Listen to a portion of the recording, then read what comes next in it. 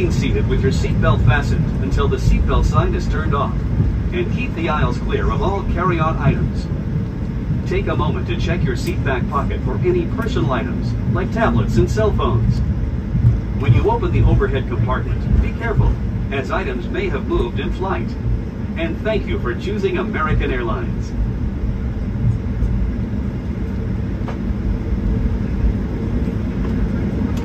Ladies and gentlemen, welcome to Chicago. The local time is 7.09 p.m. Please remain seated with your seatbelts fastened and please keep the